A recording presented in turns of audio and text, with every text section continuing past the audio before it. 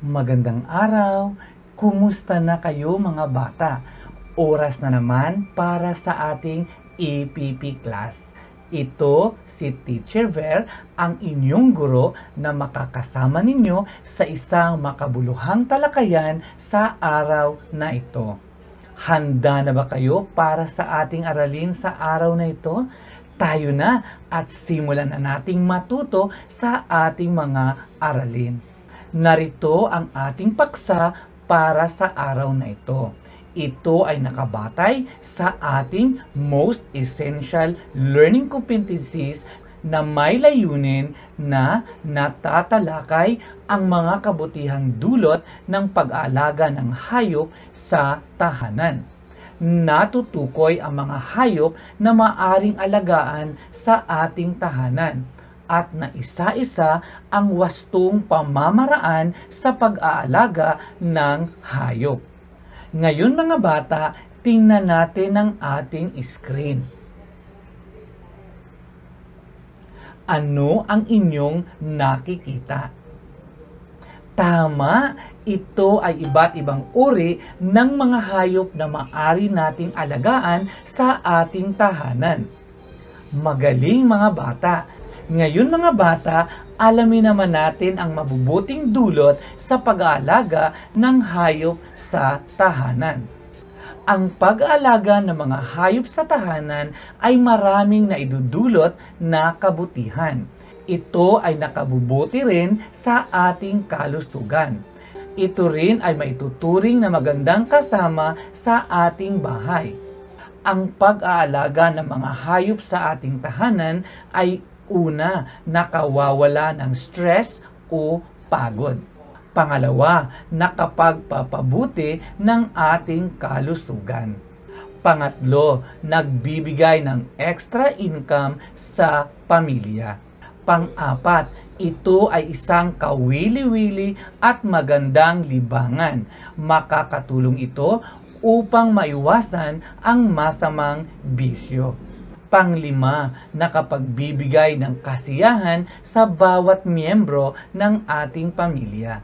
Pang-anim, nakapagbibigay ng pagkain tulad ng karne at itlog. At pangpito, magandang kasanayan sa bata na magkaroon ng responsibilidad sa pag-aalaga ng mga hayop. Tandaan natin mga bata ng pag-aalaga ng hayop sa bahay ay nakapagbibigay din ng pagkakataon sa pag-iihersisyo nagiging mabuti din itong kasama sa ating tahanan. Nagkakaroon din ng interaction sa tao ang ibang mga hayop at ito ay isang magandang kasanayan din para sa mga bata upang magkaroon sila ng responsibilidad sa pag-aalaga ng mga hayop. Naunawaan ba ninyo mga bata? Magaling, mahusay at natutunan ninyo ang mga bagay na ito. Ngayon naman mga bata ay pag-aralan natin ang ilan sa mga hayop na maari nating alagaan sa loob ng ating tahanan na nagbibigay aliw sa bawat miyembro ng ating pamilya. Una ay ang aso. Ang aso ay magandang alagaan sa tahanan sapagkat nakakatulong ito sa, pangtang, sa pagtanggal ng pagod at stress. Nagsisilbi din itong bantay sa ating tahanan. Tinatawag din ang aso bilang matalik na kaibigan ng isang tao. Ang mga aso din ay maaring makakasama sa paglalakad at sa pag-iihersisyo. Pangalawa ay pusa. Ang pusa ay mainam na alagaan dahil ito ay malambing at mabait mabilis din itong turuan tulad ng panghuhuli ng daga at iba pang mga insekto. Pangatlo ay ang kuneho. Ang kuneho ay hindi mahirap alagaan dahil hindi ito mabilis dapuan ng sakit. Hindi rin maselan sa pagkain ang kuneho. Kaya maganda itong alagaan sa ating tahanan Ayon din sa ilang pag-aaral, Ang karne ng kuneho ay masarap, masustansya at mayaman din sa protina kumpara sa mga karne ng baboy at manok. Pang-apat ay ang ibon. Madaling alagaan ng ibon dahil ito ay mabilis lumaki. Ang ilang ibon ay maaring turuang makipaglaro at magsalita. Maliban sa nakapagbibigay sila ng saya at aliw sa bawat miyembro ng pamilya, ang mga ibon din ay maaring maging pagkakakitaan o pandagdag kita ng ating pamilya. Ang sunod ay ang isda. Ang isda ay isa ring magandang alagaan sa bahay dahil ito ay nakakaaliw at nakaka-relax tingnan maari din itong pagkakakitaan ng pamilya kung marami ang alagang isda sa tahanan. Bukod sa tamang pagkain lamang ang dapat ibigay. Nangangailangan din ito ng sapat na supply ng malinis na tubig. At ang panghuli ay ang manok. Mainam ang pag-alaga ng manok sa ating tahanan dahil ito ay maraming naibibigay tulad ng masustansyang itlog at karne na maaring ibenta at pagkakakitaan. Mabisa rin itong pantagal ng pagod at maging libangan ng ating pamilya. Hayan mga bata, natalakay na natin ang ilan sa mga hayop na maari nating alagaan sa loob ng ating tahanan. Ngayon naman ay pag-aralan natin ang wastong pamamaraan sa pag-aalaga ng mga hayop sa ating tahanan. Una, dapat pakainin ang mga alagang hayop ng wasto, sapat at masustansyang pagkain. Huwag ring kalilimutang painumin ang mga ito. Pangalawa, dapat bigyan ng malinis at may maayos na bentilasyon ang lugar o kulungan ng mga alagang hayop. Pangatlo, dapat linising madalas ang kanilang mga bahay o kulungan. Pang-apat, dapat itali ang mga alagang hayop kung walang kulungan ang mga ito. Panglima, dapat paliguan ang mga ito kung kinakailangan. Pang-anim, dapat pabakunahan ang mga alagang hayop laban sa sakit at peste. At pang-pito, dapat dalhin sa veterinaryo ang mga hayop kung may sakit.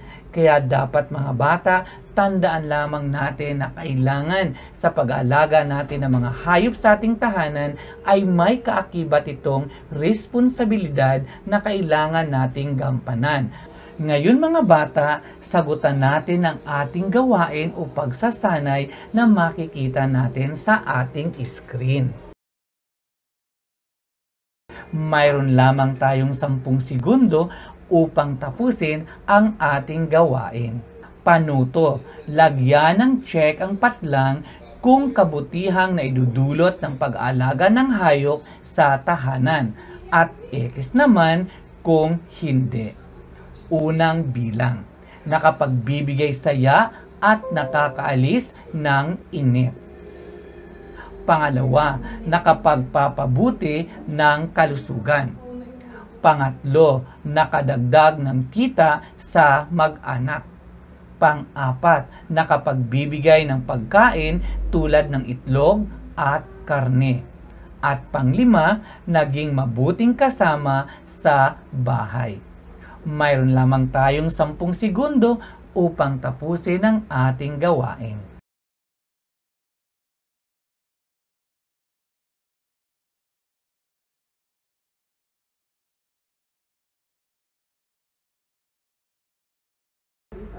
Hayan, tapos na ang 10 segundo mga bata.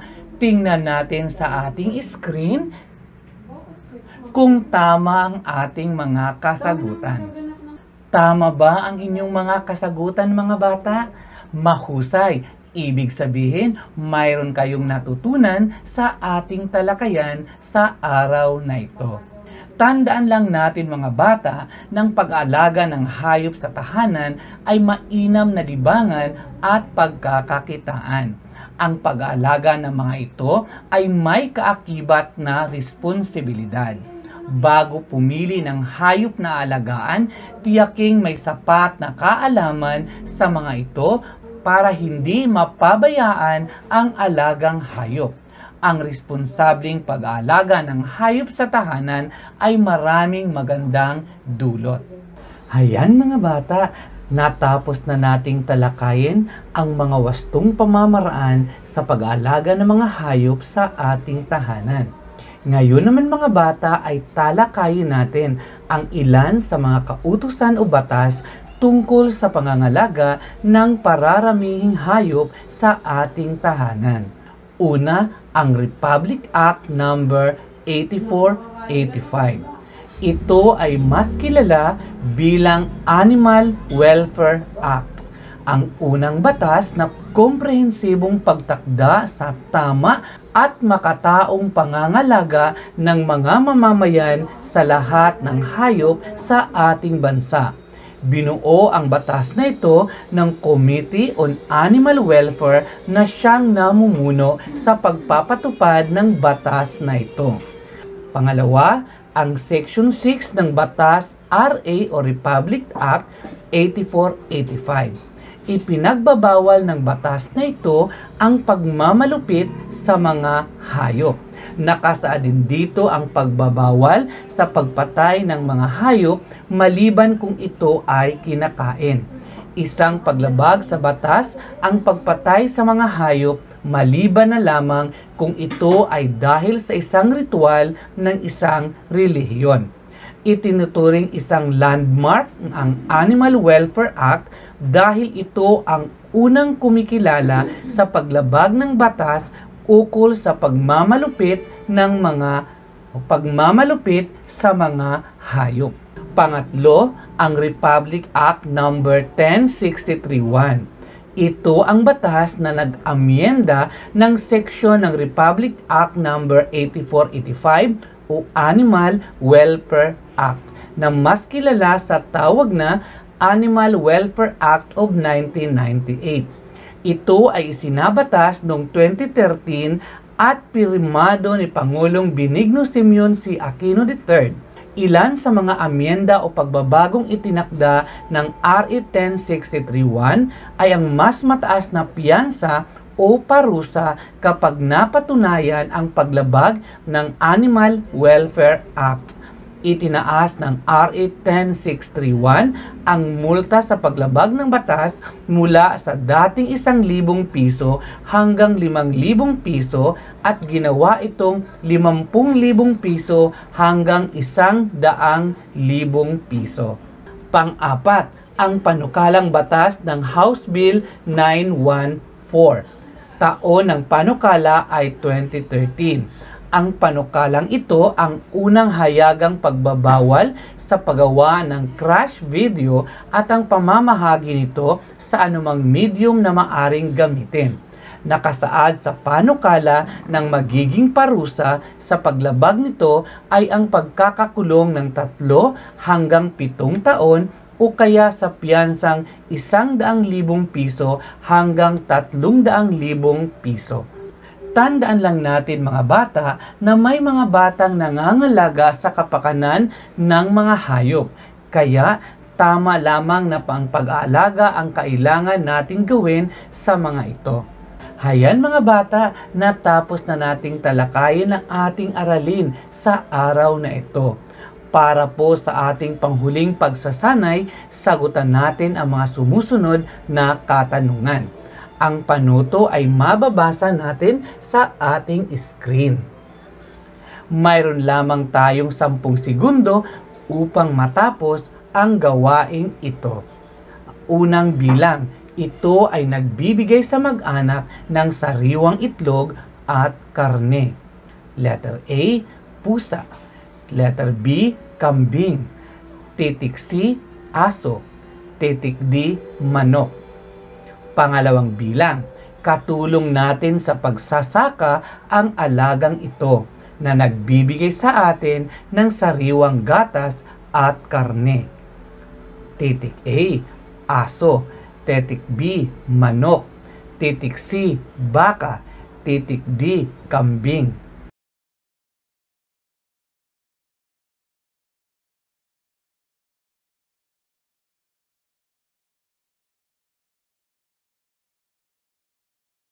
Pangatlong bilang, nakakatulong ito sa pagtanggal ng stress at maari ring pagkakakitaan ang alagang ito na humuhuni, umaawit at ang iba ay nagsasalita. Titik A, kambing. Titik B, ibon. Titik C, isda. Titik D, baboy. Pang-apat, ito ay kaibigan ng tao at tagabantay sa ating bahay. Titik A, aso. Titik B, palaka. Titik C, pusa. Titik D, isda.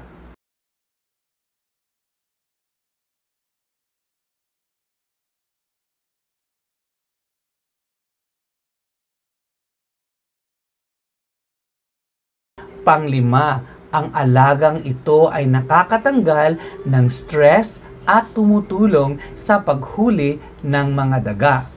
Titik A, aso. Titik B, butiki. Titik C, pusa. Titik D, manok.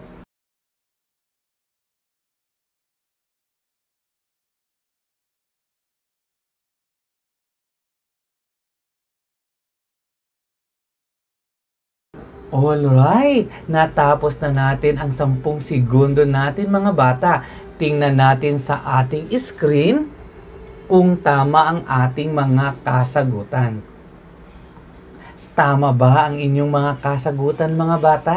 Mahusay, pinakikita lamang ninyo na mayroon kayong natutunan sa ating aralin sa araw na ito.